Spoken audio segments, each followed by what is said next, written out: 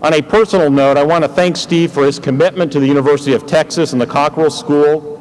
His career accomplishments alone make him a standout alumnus.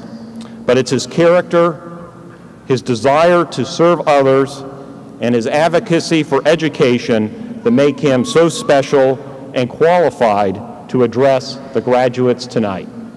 So please welcome Mr. Steve Poizner.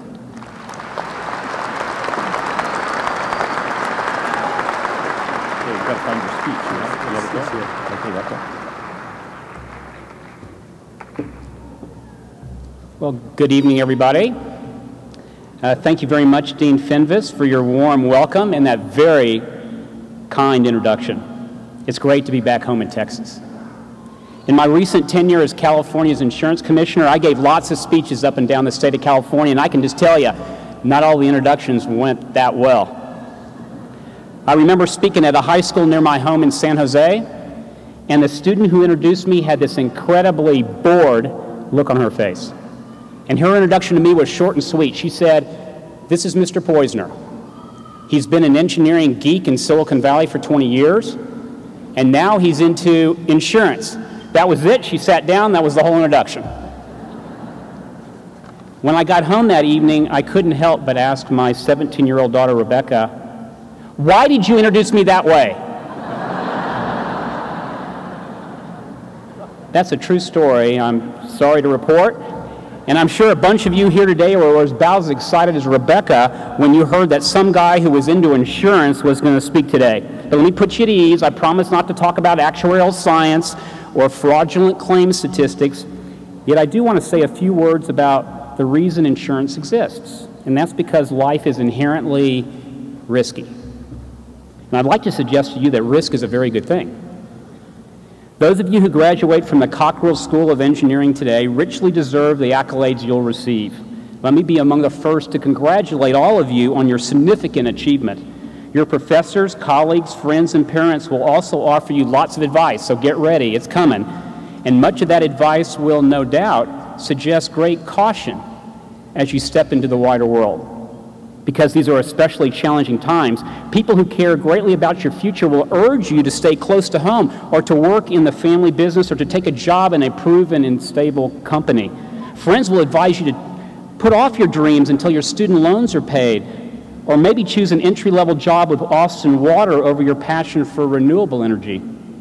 These, are, these kinds of admonitions are universally heartfelt, and they're meant to keep you safe from calamity, failure, and heartache.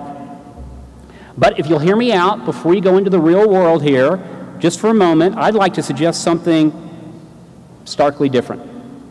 My message to each of you today is take a risk. Do the very thing you're most passionate about at this moment in your life. Seize the opportunity that your accomplishment here offers you and make your life a reflection of the very best you have to give. Engineers are born risk takers, after all. Really. Whether in setting out long ago to build the Panama Canal or Hoover Dam and brilliantly succeeding despite dire predictions of certain failure, or in the thousands of more recent endeavors, engineers understand without taking calculated risks, progress is impossible and lives cannot be improved and deaths prevented. Perhaps no one on this stage knows better than your distinguished dean about the real challenges of risk taking. At a time when we all remain very mindful of the devastation from Japan's recent earthquake, Dean Fenves's renowned work in developing sensors to test the strength and resiliency of buildings and bridges and infrastructure in earthquake zones has saved countless lives. And he took a personal risk as well. Just a few years ago, he gambled a prestigious teaching career at the University of California, Berkeley, for a new opportunity here in Texas, where he has successfully guided Cockrell into the very top tier of engineering schools in the nation. Let's hear it for your dean.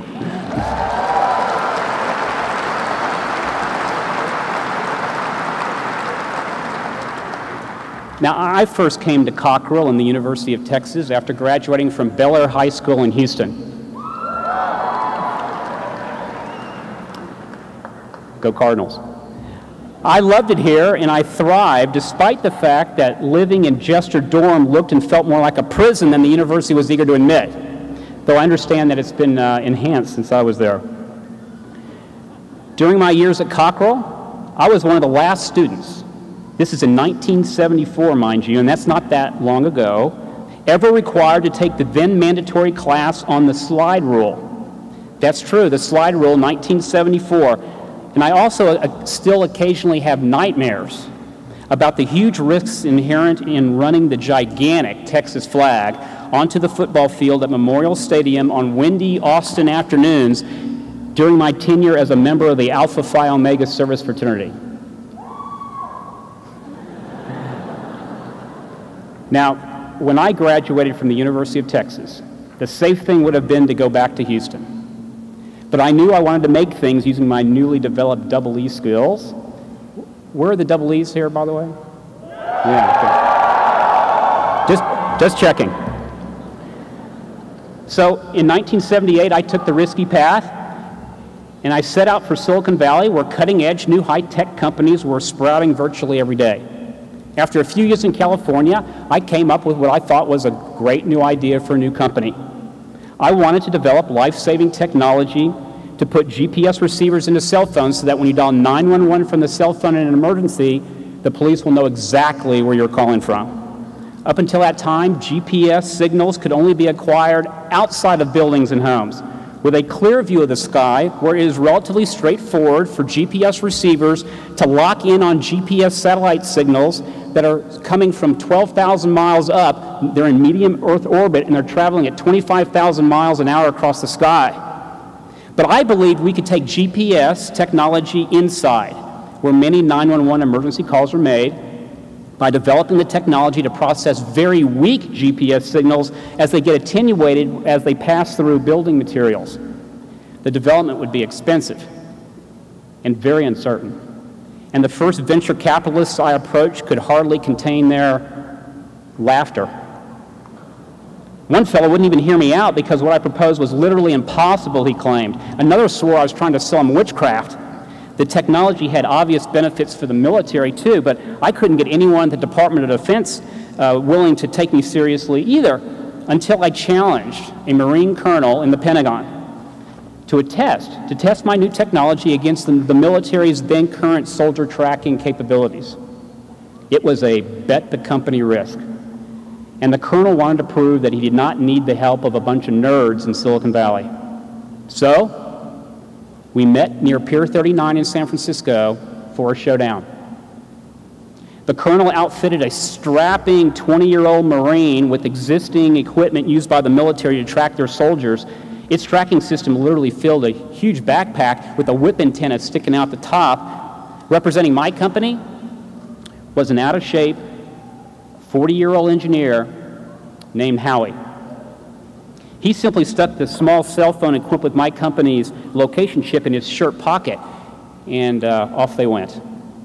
But I had forgotten one small but crucial detail. San Francisco has lots of very steep hills. Inside an RV command post, the colonel and I, we watched these two dots on a computer monitor loaded with Yahoo maps, the green dot that represented the Marine and the red dot that, that tracked Howie. Everything was fine for a while, and the two dots moved across the screen together. But then the red dot suddenly stopped as the green dot continued on, and I could see a grin begin to curl up on that colonel's face. Looks like you got a problem there, he said, but I, I couldn't imagine what it was until Howie called me. He hadn't been able to keep up with the Marine, he confessed, so he stopped at a Starbucks for a mocha latte. I couldn't believe it.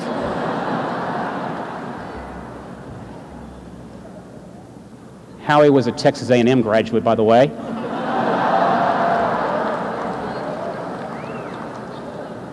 It was that Marine colonel's glowing final report about my technology that made all the difference, though, in the end.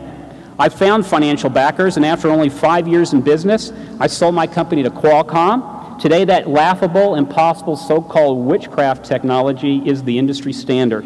It can be found in more than 700 million mobile phones around the world, and we have saved thousands of lives with it.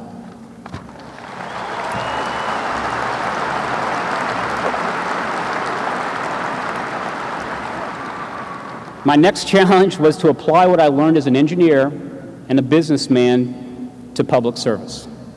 I left the private sector after running high-tech companies for 20 years and went to work in the White House as a part of the counterterrorism team in the National Security Council. Uh, hard to believe, but my start date was September 4th, 2001, uh, just one week before the September 11th attacks. Shortly thereafter, with the presumption that more attacks would be coming on Washington, D.C., my boss, Richard Clarke, the chief counterterrorism czar for three presidents, he told me that because I hadn't originally signed up for dangerous work, he'd understand it if I chose to be reassigned to a safer location. But I told him point blank, I'm not going anywhere. Good answer, Poizner, he said. In that case, he explained, I'd have to learn how to put on a biohazard bodysuit and gas mask in less than 30 seconds. The Secret Service agent who trained me that day warned that I needed to keep that safety suit in a gym bag and to carry it everywhere I went.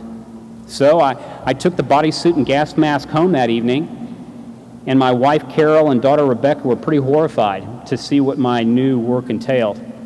But in spite of that admonition from the Secret Service, I never took that bag home again. After all, there were three of us in only one safety suit.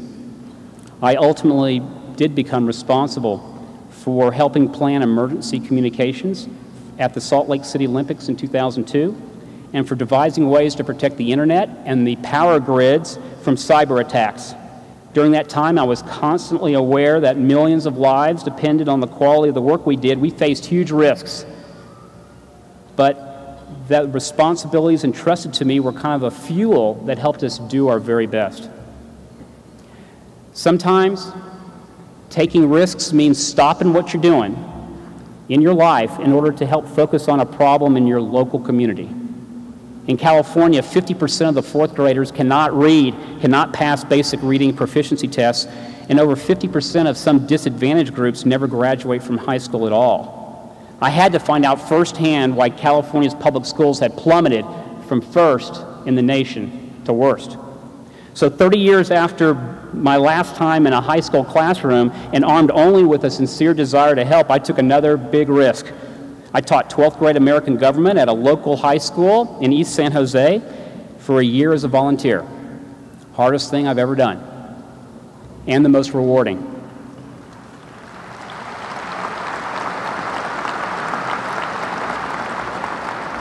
I will never forget my first day teaching. It rained, and it leaked in my classroom, and I had to position the trash can in the right spot there to collect the rainwater.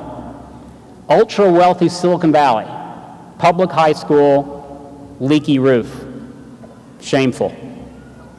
Nothing is more important than fixing our public education system in this country. And here's one thing I learned in the classroom we need to rip control of the public schools out of the hands of politicians from Sacramento to Washington, D.C. and we need to move control back to the local level where it belongs and where it used to be. Do you agree?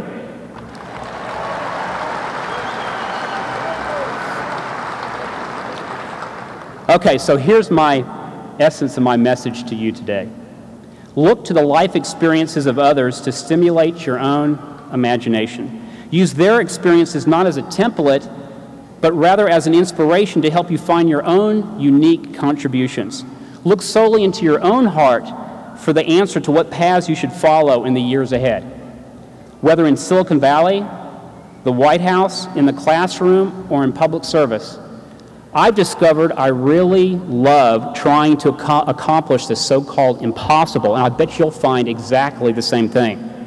Nothing makes you feel more alive than setting out to do something that is difficult to achieve, then succeeding despite the inevitable challenges and even failures along the way. Cockrell Class of 2011, I heartily congratulate you today on your great achievement, and I hope each of you is already planning your next great risk. Go out on a limb. That's where the fruit is. Climb all the mountains that call you no matter what the reason. Take a risk. Then, whether you fail or succeed, take another. We're Texans after all, and risk taking runs through our veins. I wish you great risks, and I wish us all their great rewards. Thank you all very much, and congratulations. Thank you all.